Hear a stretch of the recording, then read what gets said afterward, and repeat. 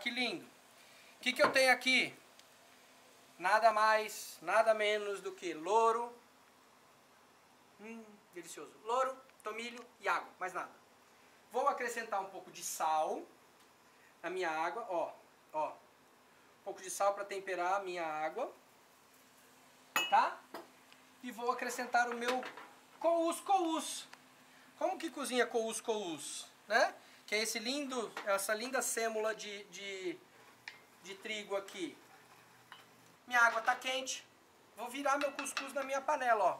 Mesmo volume de água é volume que eu tenho que ter para o meu cuscuz. Só isso. Eu coloquei louro e tomilho. Pode fazer só com louro? Pode.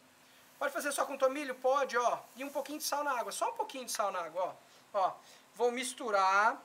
Olha que lindo de morrer. Ó.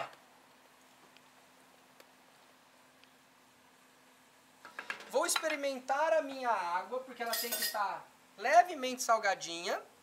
Ó. Tá ótimo de sal. E vou fazer o que, ó? Desligo o fogo. Tá vendo? Começou a borbulhar. Desligo o fogo. Tampo a minha panela. Esqueço. Esse é, essa é a dificuldade que é de fazer cuscuz. Nem arroz fácil de fazer. Viram? E é super divertido, super versátil, super nutritivo, super saboroso e diferente.